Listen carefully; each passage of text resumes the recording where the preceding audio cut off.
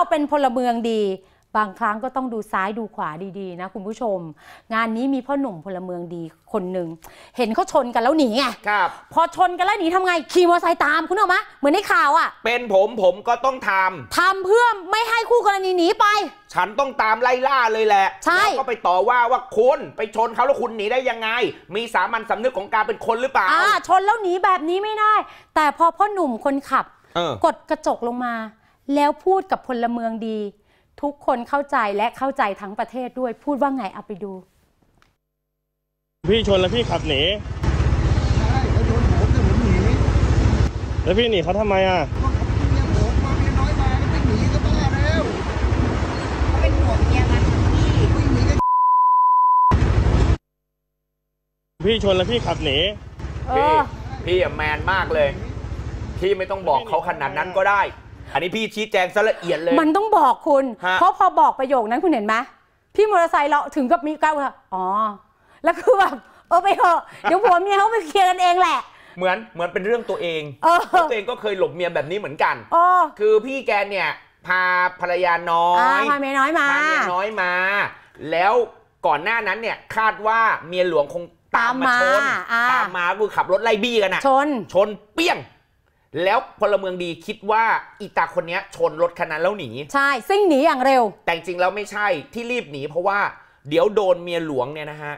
ตบกระบาลเอาอ๋อถูกพี่มอเตอร์ไซค์ถึงกับถึงกับอึ้งอะแล้วก็แบบ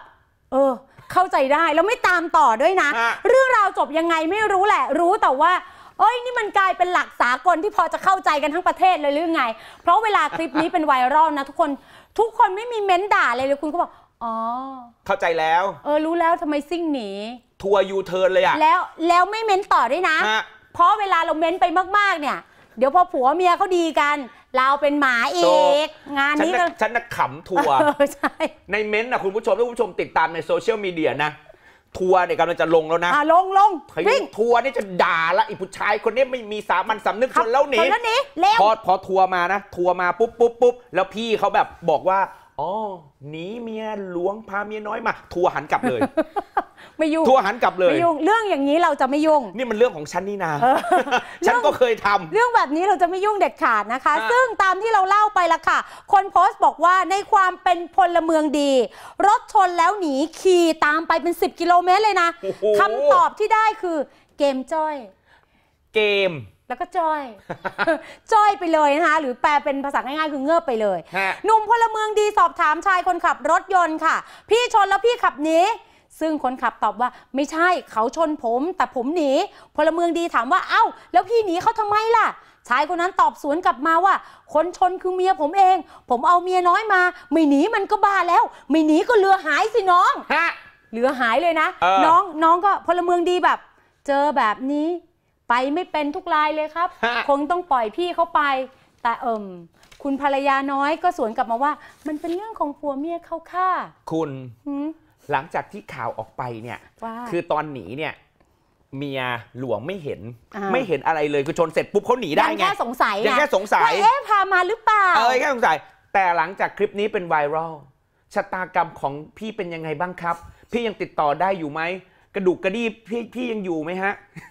โดนเมียจะทำอะไรบ้างหรือเปล่าอืมนี่แหละ ฮะ งานนี้นี่แหละ เป็นอุทาหรณ์สอนใจจ้ะ ครับ